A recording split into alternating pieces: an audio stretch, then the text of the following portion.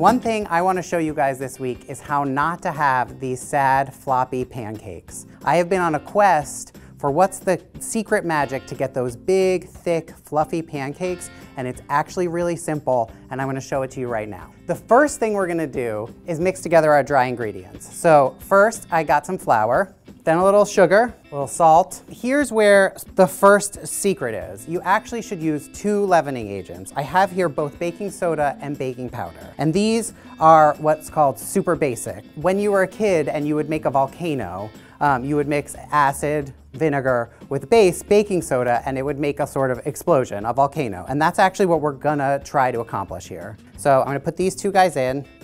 I'm gonna mix this up. It takes a two seconds. You just wanna make sure everything's combined. There we go.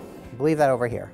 Now we're gonna mix up our wet ingredients. So here's the other secret. Like I said, when you're making that volcano, you need an acid, which is the vinegar, and a base, which is the baking soda. For us, we're gonna use buttermilk, which causes the chemical leavening reaction. Into the buttermilk, I'm gonna put in two eggs.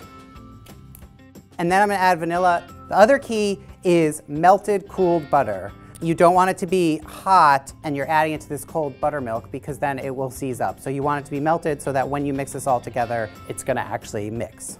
And then we wanna really stir this up. All right, we're about done with that. Another secret to really fluffy pancakes, and even if you don't want fluffy pancakes, this is a secret for making pancakes, don't mix it a lot. So all you're gonna do is you're gonna pour this in here, and then you're gonna mix this, you're gonna just keep mixing it really gently. So now that we're done with that, I'm just gonna leave this here for 10 minutes, and then I'm gonna come back and we're gonna get these cooked up. Bye. So it's been 10 minutes and I am ready to get these pancakes started because they have a lot of energy. It's been 10 minutes.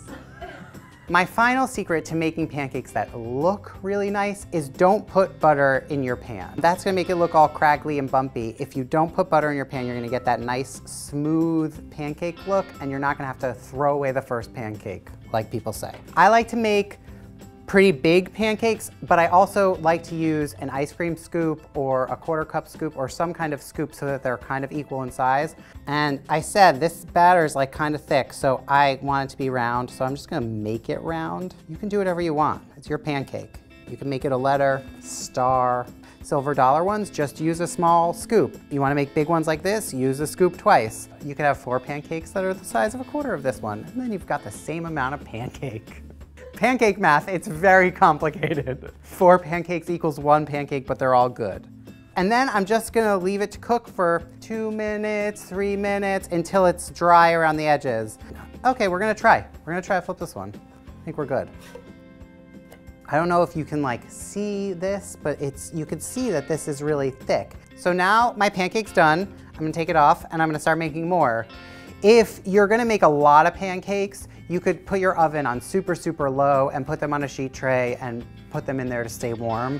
And then the best thing that I find about a Sunday morning is that this first pancake is your pancake. I always just keep a little tiny bowl of maple syrup right next to me and dip this in and then eat it. Yeah. Hmm, this guy is really, really good.